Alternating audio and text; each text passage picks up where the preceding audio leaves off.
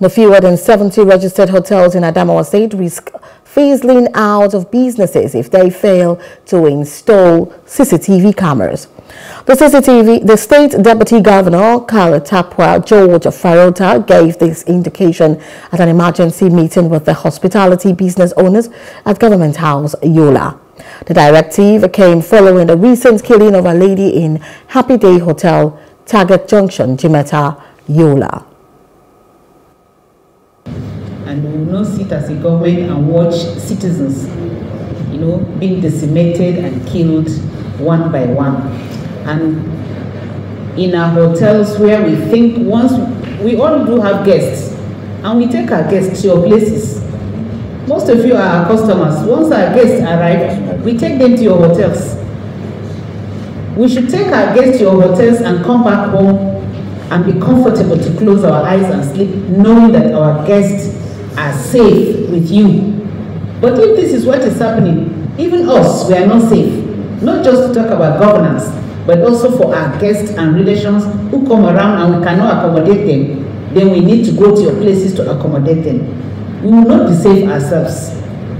Therefore, after going back and forth, government has agreed for six weeks. Six weeks midweek. And that means six weeks and I assure you it is six weeks. So after six weeks, if you don't have the CCTV in your hotel, motel, lodge, whatever name it is, the government will have the right to take its decision because the services you're rendering, you're doing them on behalf of this government and citizens.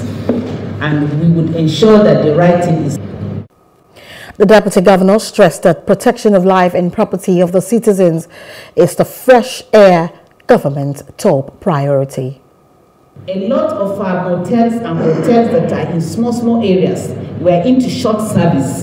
And I'm sure we're all adults, we understand what I mean by short service. A man bringing in a woman and they sleep there after two hours.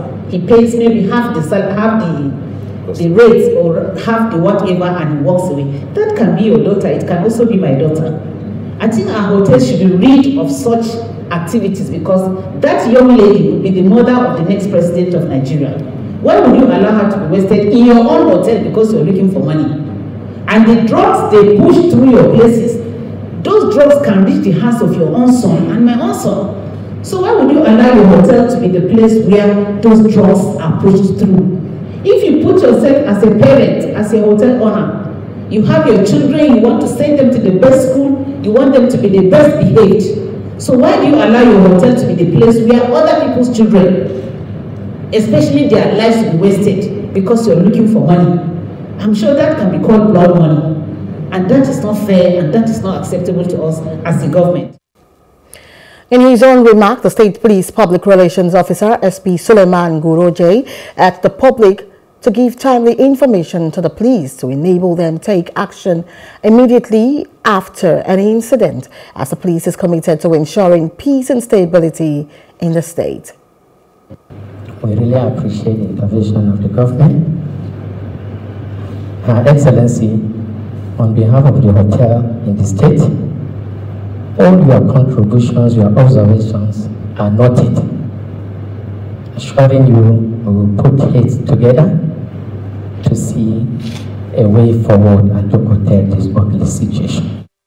Hello. Hope you enjoyed the news. Please do subscribe to our YouTube channel and don't forget to hit the notification button so you get notified about fresh news updates.